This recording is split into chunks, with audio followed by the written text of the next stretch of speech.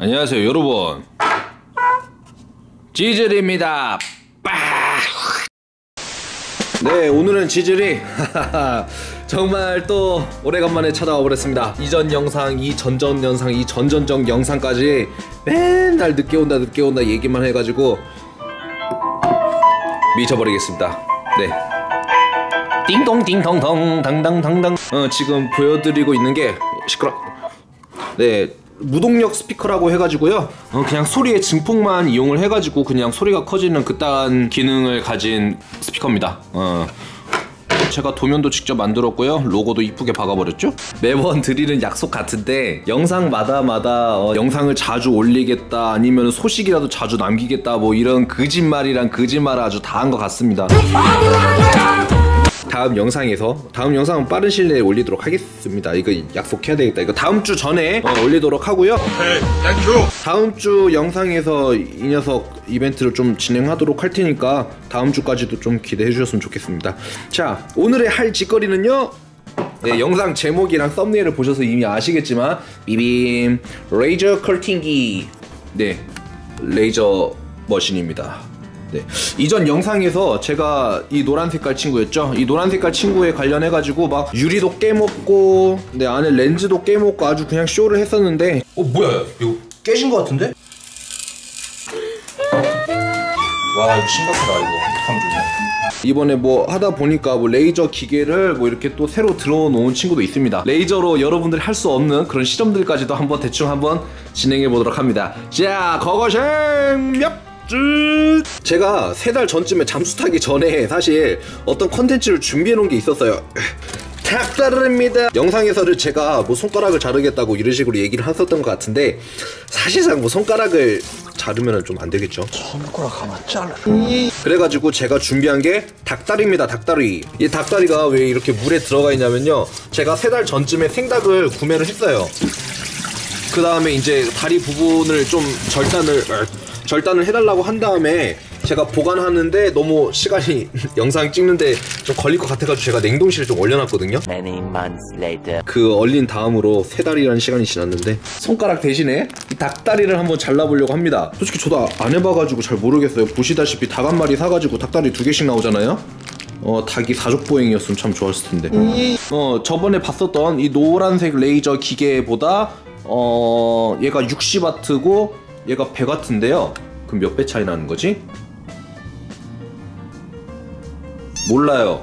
맨날 튀겨진 닭만 보다가 이렇게 생닭을 보니까 약간 조금 웃기네요. 근데 이거 색깔 맛이 간 건가? 닭다리를 이렇게 세팅을 완료를 했고요. 위쪽에 있는 honeycomb board라고 해서 벌집 모양의 레이저 조각을 할 때 자주 사용하게 되는 bed인데요. 이렇게 올려놓고 자르면은 뭐 문제 없이 어, 진행되겠죠. 전원을 한번 놓도록 하겠습니다. 참고로 시끄러워요. 요즘에는 학교라든가 이런 maker space 같은데 무한상상실 같은 곳에 이렇게 레이저 커팅기 구비된 곳이 꽤 많은데 당연히 안전수칙이라든가 이런 거 저런 것 때문에 정해져 있는 재료 말고는 써서는 당연히 안 돼요. 어, 여러분이 다칠 수 있고요. 그런데 저는 제재레니가 여러분들한테 어떤 현상이 있을지 보여드리도록 하겠습니다. 저도 되게 궁금하네요. 셋 둘 하나 우와 이거 뭐야 와 뭔가 되게 아파 보인다.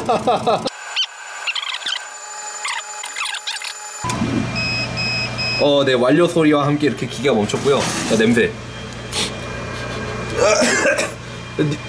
야 이거 맛있는 냄새가 아니라 그냥 좀 노린내가 나는데? 이번에 모드는 커팅이 아니라 스캔 또는 engraving이라고 해가지고 글씨를 음각으로 나타낼 때 많이 쓰는 기능인데 고기 덩어리 위에다가 이 짓을 해버리니까 네, 뭐 네, 그럴싸하네요. 멋있네요. 다른 모드거든요. 이거랑 똑같은 글씨 사이즈인데 이번에는 음각이 아니라 그냥 외곽선 라인만 한번 따보도록 할게요. 자 이번에는 어떤 결과가? 백문이 불여일견 한번 가보도록 하겠습니다. 고고샷 헐 우와 세상 오 연기 나오는 거 봐 헐 네. 네, 여러분들 아까랑 다르게 네, 외곽선만 이렇게 따게 됐는데요. 이 정도 속도로 했었을 때 깊이가 이 정도 파였거든요. 이렇게 되면은 정말 사람 손도 약 간의 데미지가 들어가지 않을까 생각이 들어요. 여기서부터 여기까지 한번 센 빛으로 한번 절단을 한번 해보도록 하겠습니다. 움직이는 속도는 30mm 세크. 네, 그러니까 1초에 3cm가 움직이는 속도고요. 세기는 어, 100W짜리인데 60% 정도의 파워로 한번 녀석을 절단하는 테스트를 한번 해볼게요. 오, 야 이게 내 살덩이라 생각하니까 아프겠다. 오. 셋, 둘, 하나, 요. 우와. 자, 일단은 당연히 절단 안 됐네요. 지금 닭 껍데기 부분이라고 해야 되죠? 닭 껍데기 부분이 이렇게 절단된 건 볼 수 있습니다. 그러면은 이번에는 30보다 조금 더 느린 20으로 그 옆에다가 한번 잘라보도록 하겠습니다. 어, 둘, 셋, 요. 우와, 색깔이 조금 더 진한 것 같아요. 20에도 잘 잘리지가 않았는데 이번에는 그 옆에다가 10이라는 속도로 한번 다시 가보도록 하겠습니다. 님들, 와 세상에. 와 이번에 정말 많이 깊이 잘렸습니다. 네 일단은 당연히 절단 안 됐기 때문에 속도가 10이었거든요. 그 이번에 그 절반인 5로 한번 해보도록 할게요. 이거. 으아. 어 지금 뼈 있는 부분까지 확실히 잘린 게 보이거든요. 이야 이거 파워 장난 아니다 이거.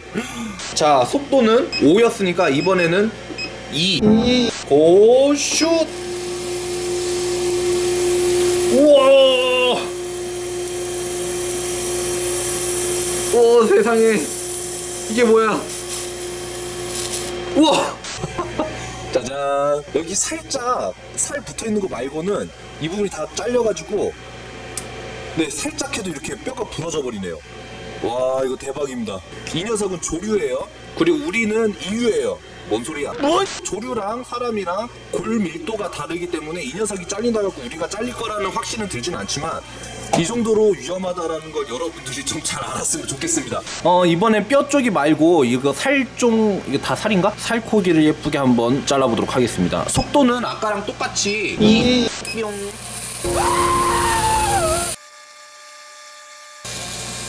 우와. 아, 한번 살펴볼게요. 짜잔. 헐. 와 이건 거의 그냥 잘렸네 잘렸어 네 속도가 만약에 1이었으면은 녀석이 완전 절단돼가지고 됐을 것 같습니다 네 님들 그래가지고 실험이 이렇게 끝나면 너무 재미가 없습니다 그래서 제가 뭐 재밌는 거 하나 더 챙겨가지고 왔는데요 바로 식빵염에다 그 예전에 유명한 짤방 있죠 몹시 카와이하게 잘라버리겠다는 그 일본 아이돌인가 뭔가가 별 모양으로 식빵을 조사버리는 그런 약간 내용이 있었는데요 야 닭다리가 잘리는데 빵이 안 잘릴 일은 없지 않습니까? 그래갖고 저도 엄청 카와이하게 한번 결을 잘라보도록 하겠습니다. 하나 둘셋! 가자! 카와이!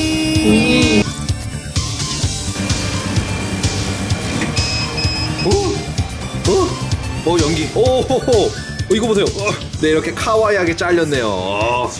근데 이게 냄새가 야 이거 먹으면은 이거 암 걸릴 것 같은데? 야 지금 조금만 한번 먹어봐야 되겠다 이거. 아, 완전 그냥 탄 맛이야. 카와이 같은 소리 아니?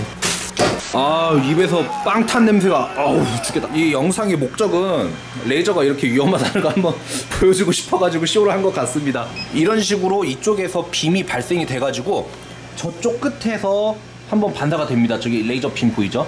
여기 거울에서 반사가 되고 이쪽에서 반사가 또 돼서 이렇게 빔이 들어간 다음에 볼록 렌즈를 통해서 빛이 한 점으로 모여서 빠! 빠! 빨간 색깔 가이드 레이저 빔이 나와서 이렇게 여러분들이 헷갈릴 수가 있는데 CO2 레이저 절단을 하는 빔 같은 경우가 비가시광선이에요 보이지 않는 선이기 때문에 만약에 기계가 가동 중에 이쪽에다 가이드라인에다가 실수로 이렇게 손을 가져다 대면은 어떻게 되는지 그냥